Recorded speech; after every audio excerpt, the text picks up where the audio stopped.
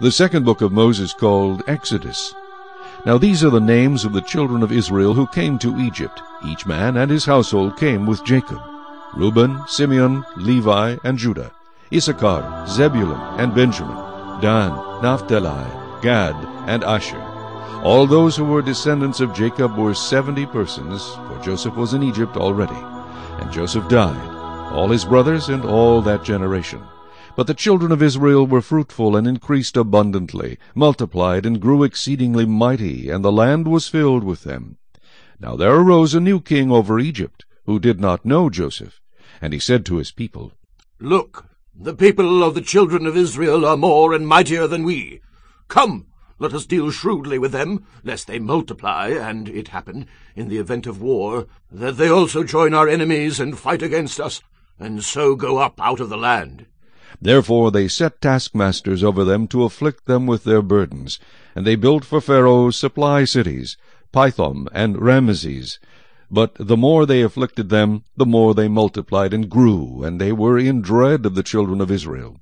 So the Egyptians made the children of Israel serve with rigor, and they made their lives bitter with hard bondage, in mortar, in brick, and in all manner of service in the field. All their service in which they made them serve was with rigor. Then the king of Egypt spoke to the Hebrew midwives, of whom the name of one was Shiphrah, and the name of the other Puah. And he said, When you do the duties of a midwife for the Hebrew women, and see them on the birth stools, if it is a son, then you shall kill him. But if it is a daughter, then she shall live. But the midwives feared God, and did not do as the king of Egypt commanded them, but saved the male children alive. So the king of Egypt called for the midwives, and said to them, Why have you done this thing, and saved the male children alive?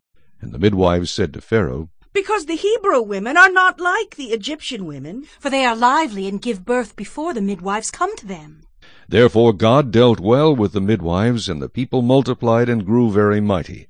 And so it was, because the midwives feared God, that he provided households for them. So Pharaoh commanded all his people, saying, Every son who is born you shall cast into the river, and every daughter you shall save alive.